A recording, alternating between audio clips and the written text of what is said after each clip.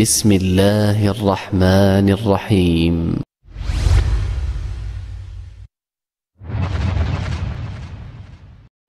هل يجوز أن يقوم المسلم بعمليات انتحارية؟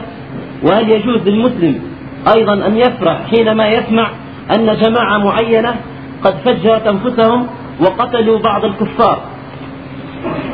لا يجوز والرسول صلى الله عليه وعلى آله وسلم يقول من قتل نفسه بحديدة فهو يقتل نفسه في نار جهنم خالدا مخلدا فيها. نعم ويقول من من تحسى سماء فهو يتحسى سموه في نار جهنم خالدا مخلدا فيها. ويقول أيضا من تردى من تردى أي من على جبل وغيره فهو يتردى في نار جهنم خالدا فيها مخلدا خالدا مخلدا فيها. إن كان بطلا فليأخذ ما معه من العدة وليذهب وليواجه. ولو قتل فلا يبالي.